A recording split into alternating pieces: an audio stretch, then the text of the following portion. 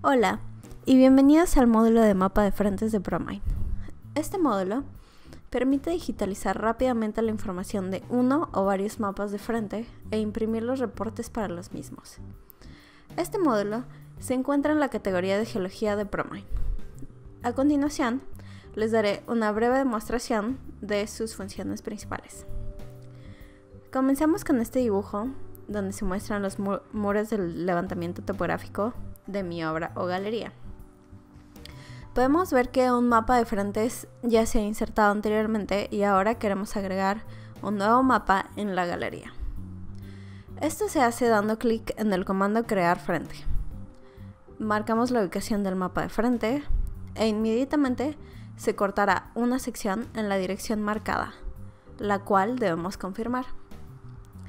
En la siguiente ventana podemos colocar un nombre para la sección elegir la elevación del piso de un punto en el dibujo y modificar el espaciado de la cuadrícula. También podemos ver que la cuadrícula será insertada inmediatamente en la sección.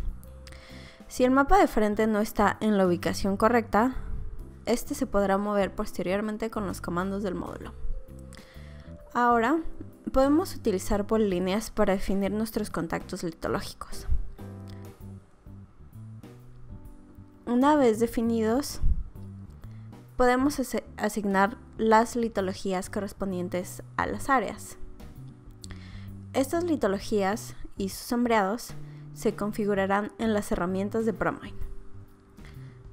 Así también, al mismo tiempo, vamos a asignar leyes, las cuales serán insertadas como anotaciones. Una vez asignada la litología, podemos insertar un reporte del mapa del frente, seleccionando el comando reporte, el cual puede incluir diferentes parámetros como ubicación del mapa, fecha, autor, longitud. Esta última se utiliza para el cálculo de tonelaje y leyes. Y también podemos asignar estas distintas leyes a cierta categoría para el cálculo de tonelaje como por ejemplo Mena y Ganga, que se pueden definir también en las opciones del módulo.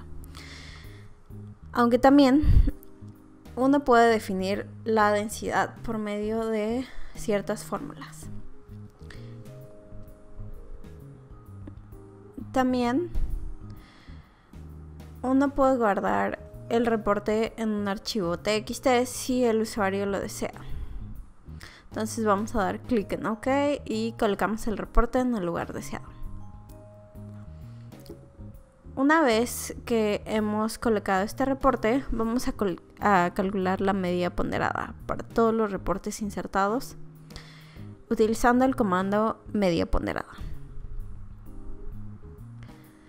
Ahora ya podemos ver que mi reporte se ha insertado. Con esto concluye esta breve descripción del módulo de mapa de frentes. Si tiene alguna pregunta sobre este u otros módulos de ProMind, escríbanos a info.promind.com. Hasta pronto.